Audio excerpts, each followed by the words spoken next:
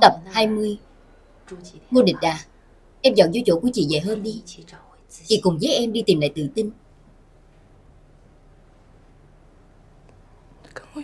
Tự tin?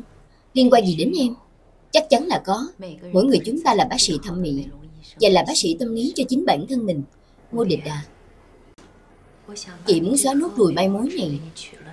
Em. Đồng ý hay không? Nhưng mà họ nói Phá nút ruồi này sẽ ảnh hưởng đến vận may Được rồi đó. Em sắp nhảy lầu luôn rồi. Còn lo ảnh hưởng vận may gì nữa chứ? Em có đồng ý hay không?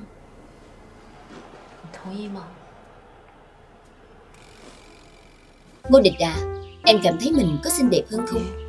Không đẹp. Chị cảm thấy em rất xinh đẹp đó. Chị an ủi em. Nút ruồi này cũng phá bỏ đi rồi. Bỏ đi nút ruồi là xinh đẹp hay sao chứ? Em tháo mắt kính của em xuống xem. Em không nhìn thấy gì. Vậy em đứng sát lại gương xem. Vẫn không đẹp.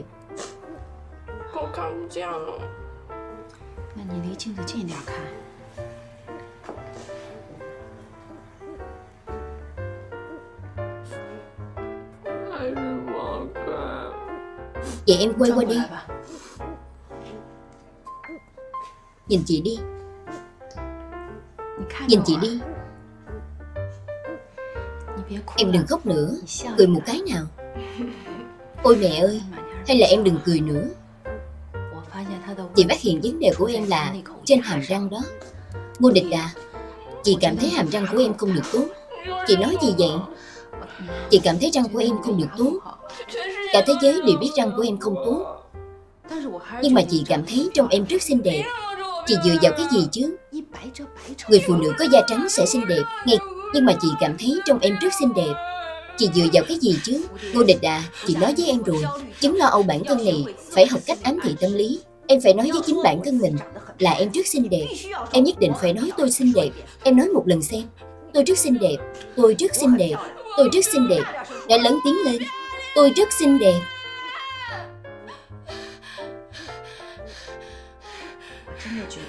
Thật ra chị cảm thấy em rất xinh đẹp. Chị nói cho em biết, Người phụ nữ tự tin mới là người đẹp nhất. Em phải nhớ kỹ, Em là một cô gái rất có ưu tú. Trên đời này không có người phụ nữ sống. Chỉ có người phụ nữ không chịu cầu tiến. Em nên học cách trang điểm cho bản thân Để thể hiện sức hấp dẫn của phụ nữ. Sức hấp dẫn, Sức hấp dẫn đó là tính tình đáng yêu của em. Em phải phát huy ưu điểm của bản thân, Che giấu khuyết điểm của bản thân. Chị thấy em rất giống với khí chất của Anne Hathaway có xem những người khốn khổ chưa?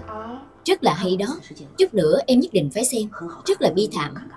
Em xem, Cặp mắt của em rất xinh đúng không? Em phải tháo cái đít chai trên mặt xuống. Đội mắt kiến. Chị xem trán của em nào. Cái trán của em đầy đặn biết mấy. Em phải đưa nó ra ngoài. Nhìn chị, Cười một cái.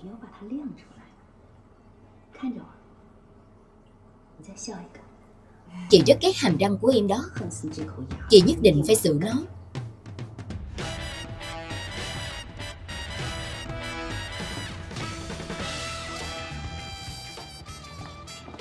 Gần đây sao không thấy bóng dáng bà tiểu lô đâu hết? Không đến uống cà phê, Cũng không đến uống rượu. Không lẽ cậu ấy cai rượu rồi à?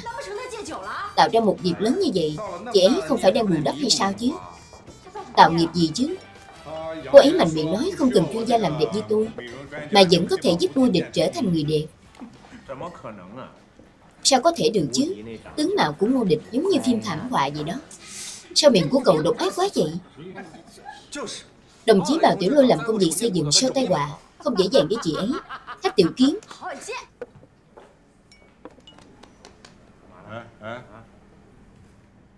Xem coi ai đến vậy.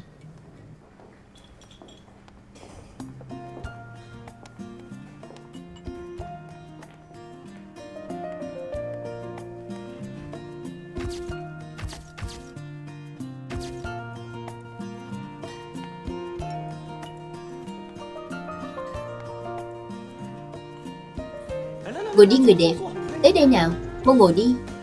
Tiểu lôi à Qua đi, Cô cũng ngồi đi. Quá xinh đẹp có đúng hay không? Tôi đến chia tay với mọi người.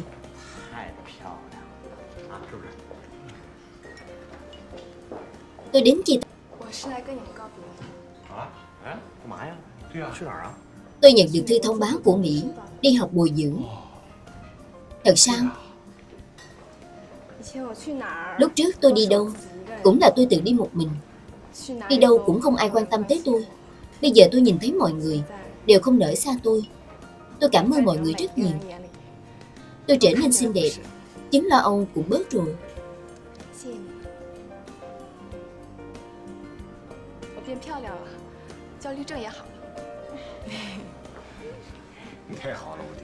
quá tốt rồi ngô địch.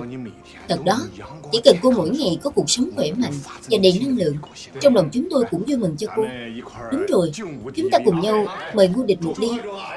Đúng đúng đúng, chúc mừng, quá tốt rồi Chúc mừng cô, chúc mừng. Song khỉ lâm môn. Tiểu lôi à, chúc mừng em nha. Em quá lợi hại rồi. Có điện thoại, mọi người cứ uống đi. Alo, được quá rồi đó. Ba, ba đừng khóc nữa. Sao vậy? Đúng là đang ở chỗ con.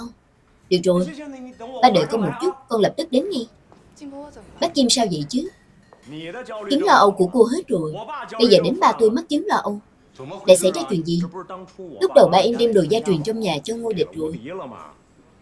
Chiếc chồng đó là đồ giả Là em đã đổi đó Cái mà ba em lấy về đó là thủy tinh. Người già sợ mất mặt nên cứ ngại, luôn buồn rầu. Buồn rầu thành chính là ông. Bây giờ thì đứng trên nóc nhà khóc đó. Cười gì chứ? Cười cái gì? Còn cười được nữa. Không phải cùng chỉ có em mới làm ra chuyện bất hiếu như vậy thôi sao?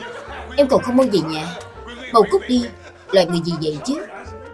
Nếu như bạn là một người đàn ông, tôi hỏi bạn một vấn đề nếu như có một ngày có một người phụ nữ đã lâu không gặp, đột nhiên chạy qua nói với bạn, em mang thai rồi, là con của anh đó, vậy bạn sẽ làm như thế nào?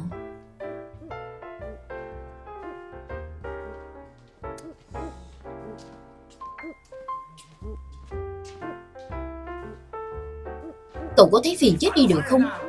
Nói ai đó? Không có nói anh. Lắc tới lắc lui, đều là do cậu chỉ là cái tên rách nát trên mạng. Chết cũng thấy hèn. Cậu đi chết đi. Đây cũng là câu tôi muốn nói với anh đó. Ái tinh Giác la kim tục cương.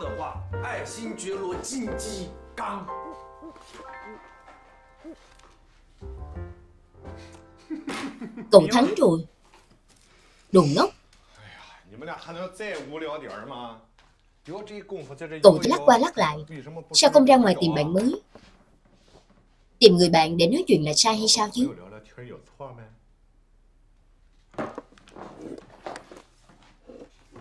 哎，爷这 Đây là Khương Thái Công câu cá có người mắc câu. 有 Có người đẹp chủ động kết bạn với tôi, mở mang tầm mắt. Anh đừng chỉ nhìn thấy hình. Bây giờ những loại mắt to biểu môi cầm nhọn, những loại như vậy đầy trên đường. Đây gọi là xà tinh. Sao không hỏi xà tinh này có phải do anh làm ra không? 你们俩这 Hai người ghen tị ra mặt rồi kìa. có bạn lĩnh thì kêu cô ấy gửi tấm hình mộc qua xem thử đi. Ái tân giác la kim tục cương. Dạo này anh khỏe không? Đến cả tổ tiên tôi cũng không biết. Không phải người quen chứ. Đây là ai vậy? Ai vậy chứ?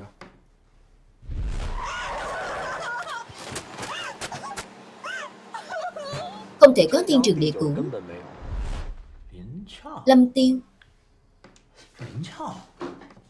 Lâm Tiêu không nhận ra đây là người quen cũ. Bản thân người đó có đẹp hay không chứ? Cô ấy vốn không ốm như vậy. Đây là giảm cân thành không rồi. Anh rất khỏe. Đã lâu không gặp. Anh rất nhớ em đó. Thật là buồn luôn Người ta không tìm anh. Chúng vậy đã quên người ta rồi. Còn ở đó nó nhớ. Trong lòng tôi nhớ. Còn nhìn thấy được sao? Anh thấy lại có một đứa trẻ sắp bị hãm hại rồi. Trả lại đi. Thật vậy sao? Vậy chúng ta gặp nhau xem thử. Rốt cuộc thì anh nhớ em như thế nào? Được thôi. Vậy chúng ta hẹn gặp nhau ở quán ba nhà dị ương Không hỏi danh là anh nái của tôi. Đó giờ chưa bao giờ thất bại. Từ đó tới giờ chưa có con dê nào thoát được miệng cọp của anh hết. Ăn xong lâu miệng, tuyệt đối không chịu trách nhiệm. Đi lạc giữa ngàn qua, không có lá bám vào thân. Anh đây gọi là bản lĩnh. Anh ấy thật không biết xấu hổ.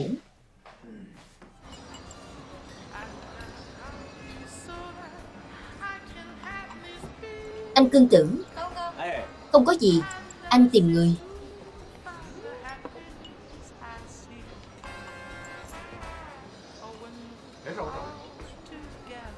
Alo Anh đến rồi.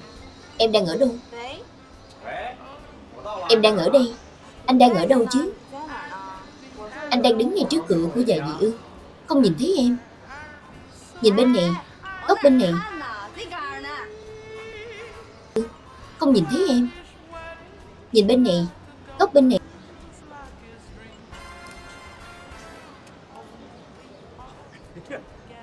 Không phải. Tấm hình trên WeChat chắc là em đúng không? Sao vậy? Không giống như sao chứ? Giống Photoshop Anh nói gì? Giống Photoshop Bây giờ em còn làm trợ lý trang phục không? Em không còn làm nữa. Em học thiết kế thời trang không phải để làm trợ lý cho người khác. Lúc con người sinh ra đều là một trang giấy trắng. Sau nhiều năm, có một số người biến thành giấy cao cấp, viết đầy từng câu chuyện. Chỉ có một số ít người y nguyên như tờ giấy trắng.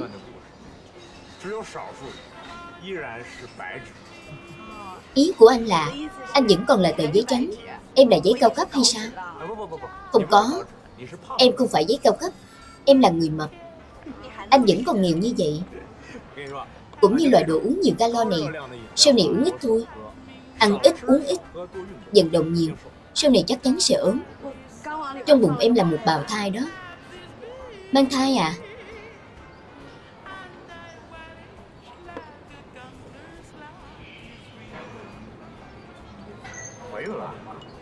Dòng eo của em như vậy còn chưa rõ ràng hay sao chứ? Em mang thai rồi. Bây giờ em là một người mẹ chuẩn mực. Ba của đứa trẻ chính là anh đó.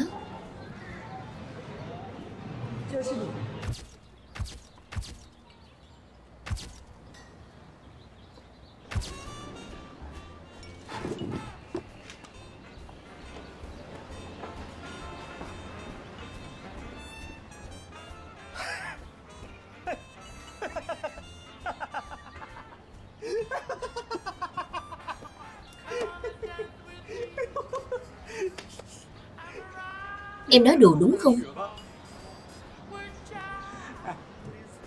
Mang thai từ khi nào chứ? Hai chúng ta chỉ gặp nhau có một lần. Hai lần cùng một ngày là lần đó. Đừng có gây rối nữa. Ai gây rối với anh chứ? Ngày nào sau anh không nhớ vậy? Em biết thế nào anh cũng nói như vậy. Em sẽ giúp anh nhớ lại.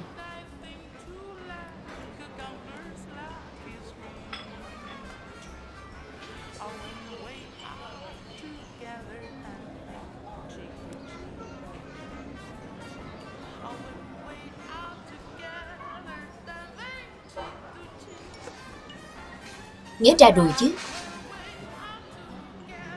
Không chính xác vậy chứ.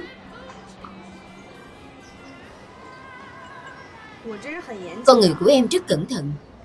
Chính là ngày đó. Vấn đề, Nếu như phá bỏ đứa con này, Sau này cơ hội mang thai cực kỳ thấp.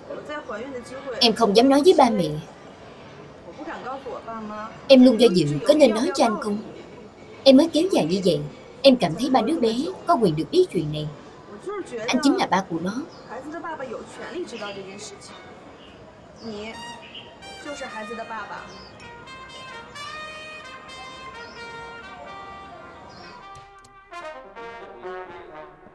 Vậy rồi à.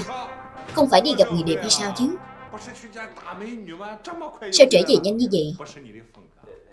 Không phải phong cách của cậu đó. Sao vậy? Đây là bị đả kích.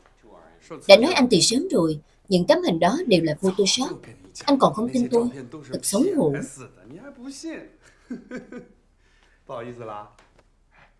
Không có người ngoài. Em nói cho anh nghe xem. Để cho tụi anh vui mừng chung. Em sắp làm cha rồi. Anh nói một lần nữa Tôi sắp làm cha rồi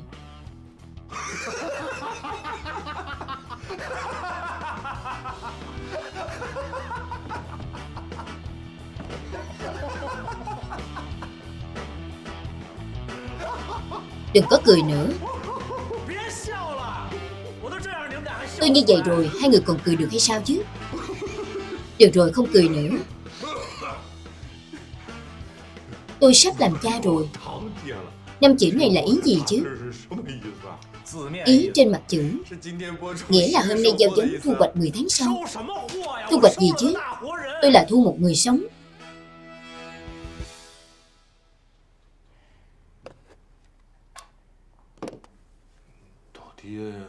Rốt cuộc đã xảy ra chuyện gì? Bảy tháng trước, tôi với Lâm Tiên Có qua đêm một lần. Chỉ có một lần. Hôm nay gặp tôi, Nói là mang thai rồi. Cô ấy khẳng định ba đứa bé là tôi.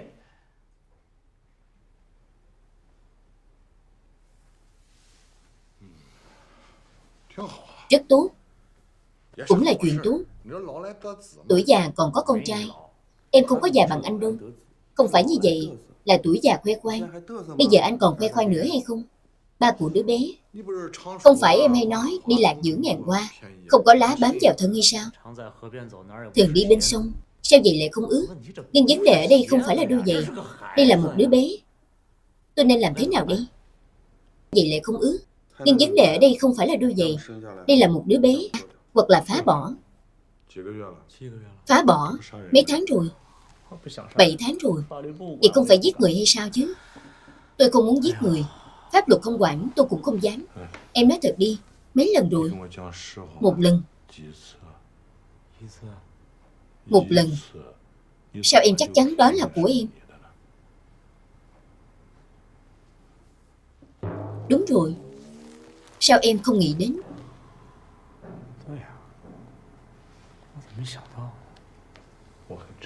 Hết thuốc chữa rồi。Xem tivi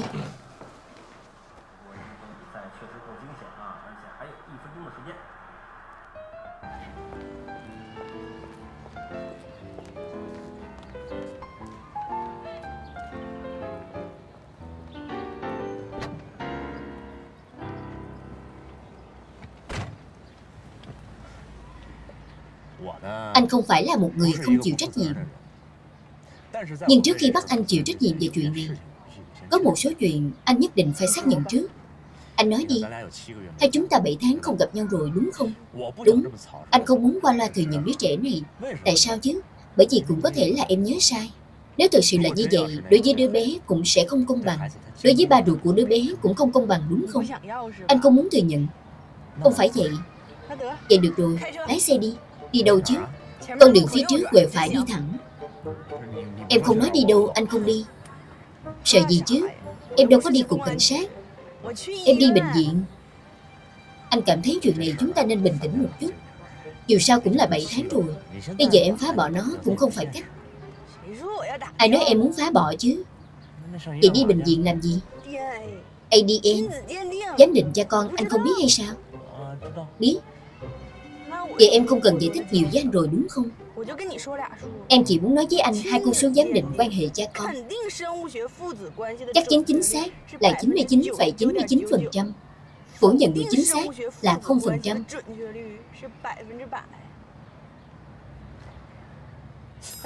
Làm gì chứ? Anh chỉ bỏ ra một chút xíu như một cọng lông là đủ rồi. Còn em thì chọc lấy nước ối Vì muốn đảm bảo an toàn cho phụ nữ mang thai và thai nhi Em nhất định phải đến top 3 hoặc bệnh viện cấp 3 trở lên để làm. Mấy ngày sau, anh có thể nhìn thấy tận mắt báo cáo giám định giấy trắng mực em. Em phải để cho khoa học nói cho anh biết. Đứa con trong bụng của em rốt cuộc có phải là của anh không?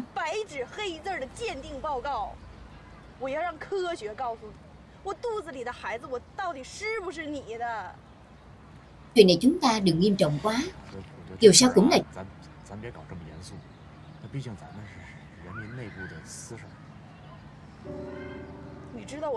anh có biết nói với anh chuyện này khó khăn với em thế nào không? Anh đã thể hiện sự không quan tâm và thông cảm với em rồi. Trái lại còn chất vấn em nữa.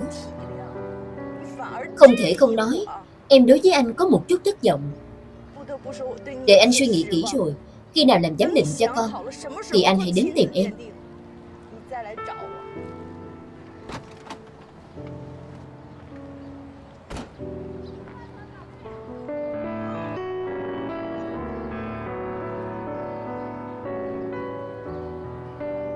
Xem ra là cô gái đó đã có chuẩn bị rồi. Người ta đoán được em sẽ không dễ dàng nhận đứa con này. Anh dám làm giám định cho con hay không chứ? Anh có thể chứng minh đứa con đó không phải của anh. Tôi thấy cô ấy rất chắc chắn, Đến mức tôi mơ hồ. Được rồi, nghe anh đi Đừng làm. Đừng tự sỉ nhục chính mình nữa. Cô gái đó chắc chắn không phải là đồ ngốc. Người ta dám kéo em đi làm giám định cho con. Nhất định chắc chắn rằng đứa bé là của em. Nhưng vấn đề là cô ấy muốn gì ở tôi chứ? Tôi là người đàn ông ly hôn ra đi Tây Trắng Một là không có tiền tiết kiệm Hai là không có nhà. Nếu như tôi là cô gái đó tôi cũng không chịu cưới anh. Nói về quan điểm của một người là được rồi. Đừng đem theo nhiều thứ cảm xúc Đặc biệt là đối diện với một người hoàn cảnh còn thê thảm hơn hai người. Em như vậy đến cả con cũng có mà còn thê thảm gì chứ? Con cái Nó là báu vật vô giá. Thì đó. Không được Tôi đi tìm bảo tiểu ngân một chuyến. Đi theo. Đóng cửa lại. Cô nói đi, chuyện của ai? Sao chị biết xảy ra chuyện vậy? Tôi nghĩ thấy một người gây ra thảm họa. Tôi tìm chị chủ yếu muốn tham khảo chút ý kiến pháp luật. Tôi thu tiền theo giờ. Thu tiền theo phút cũng được. Chuyện của tôi là như vậy. Trực tiếp hỏi vấn đề. Mấy anh muốn ngồi thì ngồi. Tốc độ mấy anh dành chỗ ngồi cũng nhanh giống miệng của mấy anh vậy đó. Chuyện tốt không ra khỏi cửa. Chuyện xấu thì truyền ngàn dặm. Chỉ là ở đối diện nhau, Không có xa ngàn dặm như vậy. Đều là người nhà hết. Vậy được rồi. Tôi trực tiếp nói với chị ấy. Tôi cảm thấy chuyện này nếu như Nếu như đứa con này thực sự là của tôi, Có phải là chưa kết hôn sinh con đúng không? Vậy tài sản của tôi có phải chia cho thằng nhóc con đó không? Cậu còn ý nghĩ hỏi về vấn đề này. Anh buổi tối không ngủ được, Ban ngày thì không muốn dậy. Anh có thể có tài sản gì chứ? Thì đó, Nếu không chờ một ngày nào đó tôi chuyển dần phát tài thì sao chứ? Giờ nãy cậu không tìm tôi Tôi cũng sẽ đến tìm cậu. Tôi đã biết chuyện như vậy, Tôi sẽ không ngồi nhìn bó mặt cùng mau nói đi. Tôi nói, tôi cũng sẽ đến tìm cậu. Tôi đã biết chuyện như vậy, Tôi sẽ không ngồi có nghĩ cho bản thân. Nếu như cậu không chịu trách nhiệm với hai mẹ con họ, Tôi sẽ bắt cậu trả giá. Tiểu lôi à tôi là bạn của chị đó. Sao chị nghĩ đến quyền lợi của người khác Mà không tính cho người nhà? Tôi là bạn của cậu, Nhưng tôi cũng là một người phụ nữ. Chắc chắn tôi sẽ giúp đỡ phụ nữ. Là điều hiển nhiên. Anh rất ủng hộ em. Đồng ý. Xui xẻo thật đó. Không phải là tự ghét rắc rối cho mình sao? Cưng tử à đó là một sinh mệnh. Sinh mệnh đó có quyết mạch tương thông với cậu Tốt nhất là cậu chịu trách nhiệm đến cùng đi. Lỡ như cô gái đó chịu sự kích động sơ suất gì Thì là một sát hai mạng đó. Cậu để cố ý giết người.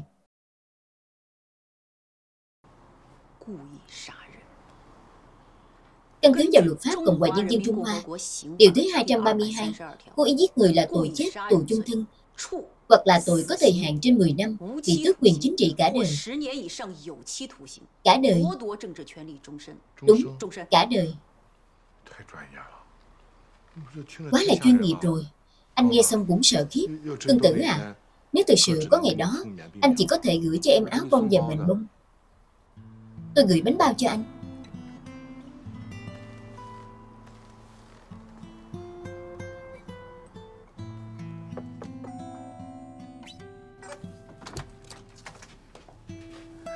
Hôm nay đi làm giám định hay sao? Em đi thi đồ. Đừng. Đợi một chút. Anh có thể vào trong được không? Anh có chuyện muốn nói với em. Đứng ở đây nói đi. Em xem lời nói của anh hôm đó. Khi anh hỏi em có chắc chắn đứa con này là của anh hay không? Thực ra thì anh không có ý gì hết. Không phải anh nói là anh không muốn nhận cũng không phải là anh muốn chối từ. Thực ra anh chỉ nói tùy tiện thôi. Nhưng mà không ngờ làm em giận. Em đừng có để trong lòng. Em không có giận. Người già có câu nói, Tức giận dễ động thai khí có đúng không? Hai chúng ta tuy nói là không quen, Nhưng mà hai chúng ta có chung với nhau một đứa con. Nói rõ ra là gì chứ? Nói rõ duyên phận không thân thiết. Hôm nay anh đến là muốn nói với em. Đứa con này là của anh. Anh có một tấm thẻ. Trong này của anh có chút tiền. Tuy là nó không nhiều. Nhưng anh có thể lấy ra được, cũng chỉ có nhiều đây thôi. Em cầm lấy, sau khi sinh xong rồi. Thì nói với anh. Anh đến nhìn nó.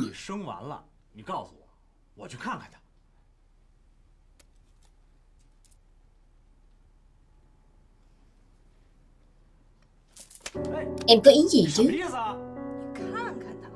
Anh đi nhìn nó. Anh nhìn Em có ý gì chứ?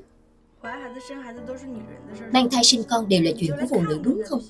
Anh chỉ đến xem là được rồi sao? Ý em là anh còn phải giúp em sinh nữa đúng không? Anh mau cút.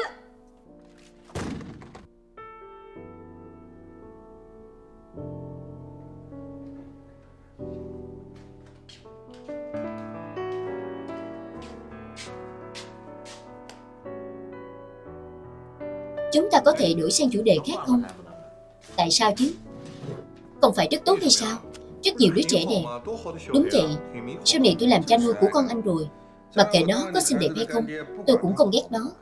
Nói gì vậy chứ? Trẻ con đều rất xinh đẹp, không có xấu đâu. Hai người đừng có tranh cãi nữa được không? Hai người không phải gặp chuyện tình như vậy, có đúng không? Tranh thủ thời gian mau chóng tìm giúp tôi. Có bà con bạn bè ở nước ngoài không? Tôi đi phải bỏ trốn. Em làm cái gì phải chạy trốn chứ? Anh còn không hiểu. Lâm Tiêu bắt em làm ba của đứa bé. Em không thể không bỏ chạy. Đứa bé đó có thể làm gì được em chứ? Anh cũng có con lớn như vậy, Không phải cũng rất tốt hay sao? Hai chúng ta sao có thể giống nhau? Đều là đàn ông mà, Có gì mà không giống nhau chứ? Ngay cả mẹ đứa bé em còn không quen, Làm sao nuôi được một đứa bé chứ? Vậy không phải đúng lúc anh đứng đầu thời đại hay sao? Tôi đây không cần đứng đầu thời đại. Tôi đứng đầu tuyến thời đại. Vậy anh tính sao đi chứ? Còn có thể làm gì nữa? Cho cô ấy chút tiền Để cô ấy ăn ngon thoải mái. Có đúng không? Cưng tử à Gây rối là gây rối. Nhưng người ta dù sao cũng là một cô gái, Cũng là mẹ của con em. Em phải chịu trách nhiệm với người ta chứ. Trách nhiệm là cái gì? Chưa từng nhìn thấy. Kim Tục Cương, Ngày mai anh sẽ cho em biết Như thế nào là trách nhiệm.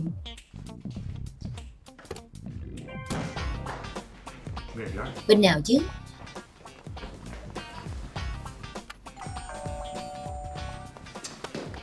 Em có phải đàn ông không? Em thực sự không sợ người ta nổi giận kiện em hay sao chứ? Gặp phải vấn đề tuyệt đối không được lùi bước Dũng cảm chịu trách nhiệm Đây gọi là trách nhiệm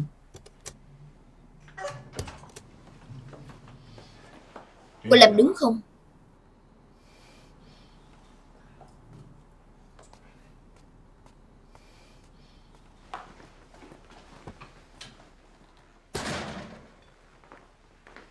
Cô Lâm à, tôi là bạn tốt của cương tử Tôi tên là Cao Đại Thường. Tôi đi đến đây chủ yếu là gặp cô. Xem cô có yêu cầu gì cứ việc nói với tôi. Tôi sẽ thay cô làm chủ. Tôi cần tìm Xem cô có yêu cầu gì cứ việc nói với tôi. Tôi sẽ Cái này tôi thật sự không giúp được. Đừng như vậy chứ. Những lời trước đó anh nói đều là nói xạo. Em đừng để trong lòng. Thực ra chủ yếu là bởi vì Mọi chuyện xảy ra quá đột ngột. Trong lòng của anh có chút rối bời. Đừng nói mấy chuyện không cần nữa. Chuyện của đứa bé em cứ yên tâm. Anh chắc chắn sẽ chịu trách nhiệm đến cùng. Miễn là em cần. 24 tiếng, Em gọi bất kỳ lúc nào cũng được. Anh có thể đến bất kỳ lúc nào sao? Anh có làm được không? Anh ấy dạy anh. Không phải anh dạy anh ấy.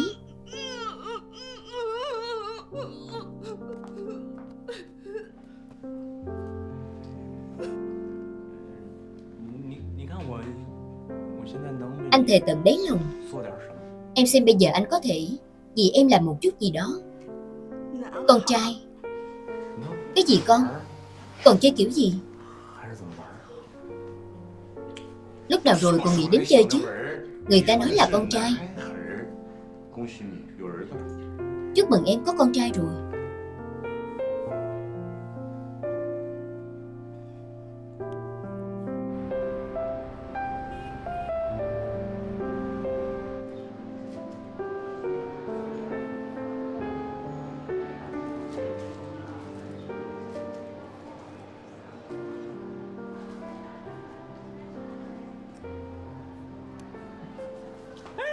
Thằng nhóc này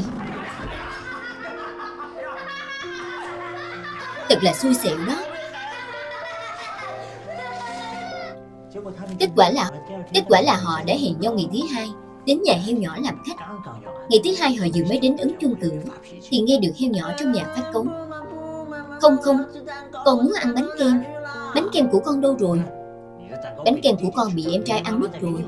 Ngày mai mẹ mua lại cho con một cái. Không được, con muốn ăn bây giờ. Sao mẹ lại lấy bánh kem của con cho nó chứ? Đâu phải là mẹ ăn hết của con đâu chứ. Con làm gì phát cống với mẹ? Bây giờ ba không đi mua bánh kem cho con. Bây giờ con phát cống với ba. Con phát cống phiền chết ba. Phiền chết rồi. Ai viết ra câu chuyện như vậy chứ? Không đọc xuống tiếp được nữa. Con heo con phát cống. Ai phát cống chứ? Anh không phát cống. Đừng có dội. Con cái rất đáng yêu. Nó cần nghe thấy âm thanh của ba nó. Em muốn sinh đứa con đáng yêu như hai đứa nhóc nghịch ngợm ở cửa hàng đó. Ngày mai đừng quên đi làm siêu âm lần cuối. Được rồi, ngày mai đừng quên đi làm siêu âm lần cuối. Thôi đi, anh đi đây. Tạm biệt.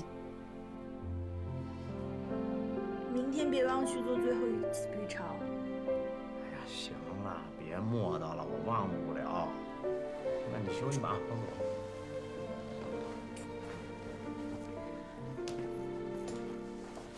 đây đây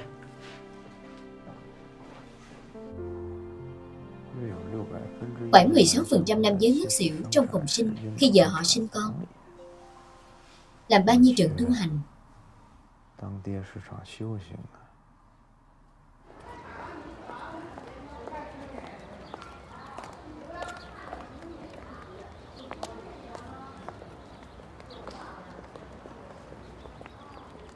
Tương tự, anh đang ở đâu? Anh còn hai cái ngã tư nữa là đến.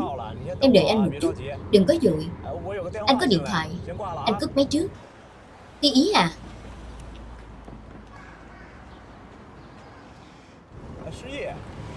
Ti ý Sao em điện thoại cho anh vậy chứ?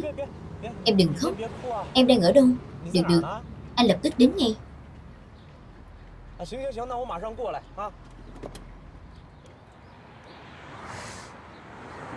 Tôi đã là chồng trước. Tại sao tôi lại đồng ý nhanh như vậy chứ?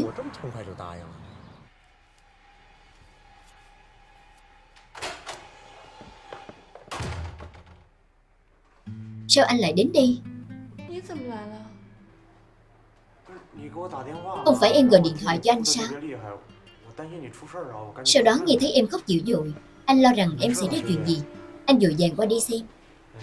Không có chuyện gì chứ, thi ý. Ngồi đi. Sao vậy? Vậy là anh. Sao vậy?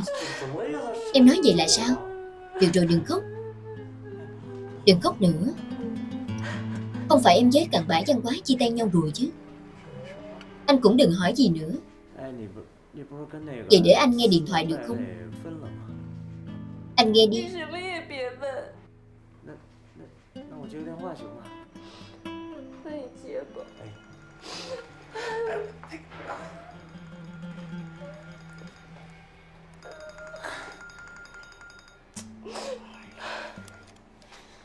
Tiên ý à? Không có gì mà không vượt qua được. Tối em ngủ một giấc. Sáng mai mở mắt ra Tất cả mọi chuyện đều qua hết.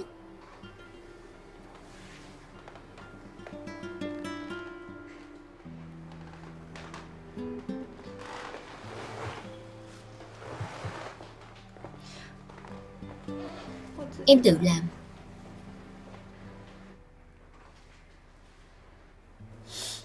Nghiệp liệu gì chứ? Em ấy đang ám chỉ với tôi sao?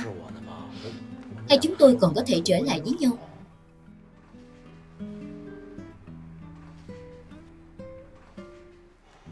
Anh đừng có biết xấu hổ nữa, Kim Tục Hương Anh làm tổn thương người khác còn chưa đủ sâu hay sao chứ?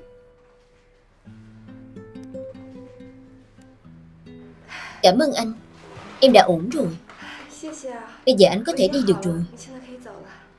Anh vậy đã ổn rồi sao chứ? Xin lỗi Tục Cương. Lúc nãy em bấm nhầm điện thoại. Chỉ là muốn mượn bờ da anh một chút. Em có ý gì chứ? Mượn bờ da anh dùng một chút. Là dựa trên bờ da anh khóc. Bây giờ em đã ổn. Anh có thể đi được rồi. Cảm ơn anh Tục Cương. Không cần khách sáo. Em với anh còn khách sáo như vậy nữa. Anh cảm thấy anh giống hành khách trên máy bay. Được rồi, vậy anh đi đi.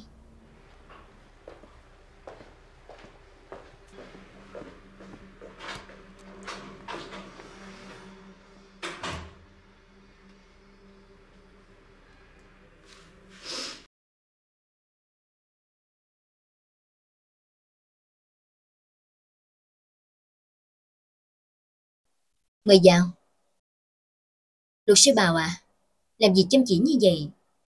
Có lúc phải chú ý nghỉ ngơi chứ. Ví dụ như đi nghe loại nhạc giao hưởng London, bầu không khí cao cấp sang trọng. Em sẽ đi. Thật sao? Cảm ơn. Xin lỗi nha, vé kia của anh. Không đúng, Hai giấy này là của em. Em tìm người đi cùng với em. Anh không cần đi.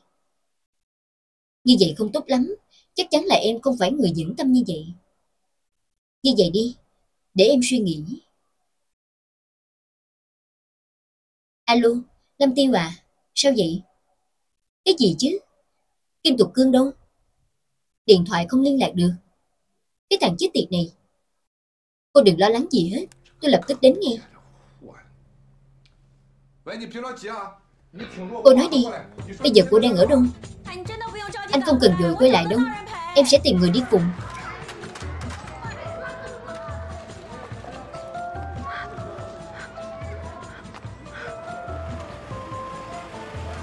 Bác Tài à Phiền anh xuống giúp tôi đỡ cô ấy. Cảm ơn. Gặp Bác Tài à Cố lên Cố gắng lên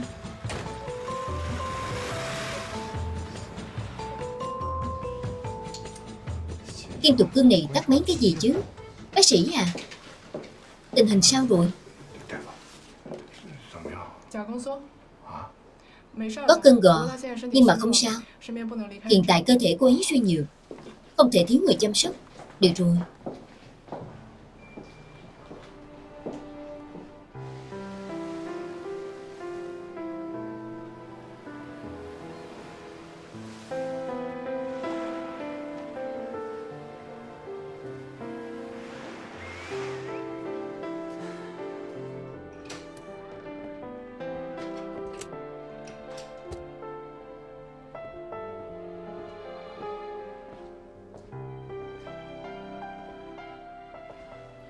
Còn chưa ngủ sao? Không phải hôm nay em hứa với Lâm Tiêu, Đưa cô ấy đi bệnh viện hay sao chứ?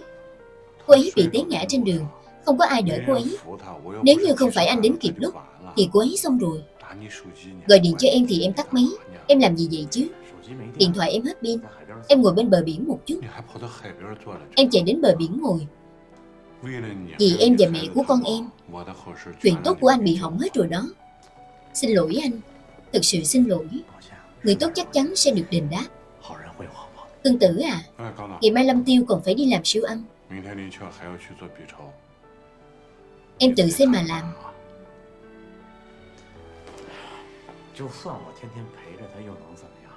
Cho dù ngày nào em cũng ở bên cô ấy thì sao chứ?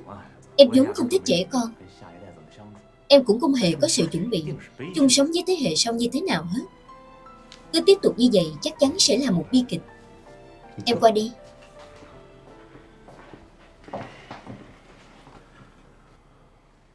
Đa số người mới bắt đầu làm ba. Đều không chuẩn bị gì hết. Anh cũng vậy. Lúc đó anh nghĩ Anh còn chưa đủ trưởng thành Còn có thêm một đứa con nữa. Anh thấy như bóng tối Sợ hãi và buồn bực Trong đầu cứ rối bời. Nhưng lúc anh vừa nhìn thấy Cái đầu của con anh chỉ lớn bằng như vậy Đầu thì đầy tóc máu Ngón tay để đây Cũng chỉ lớn bằng như vậy. Mềm mềm không có xương Em động vào nó nó nhìn em cười một cái Tim cũng tan chảy. Cảm giác đó không thể nào diễn tả được. Trong khoảnh khắc đó Em biết em là ba của nó. Em đi ngủ trước đây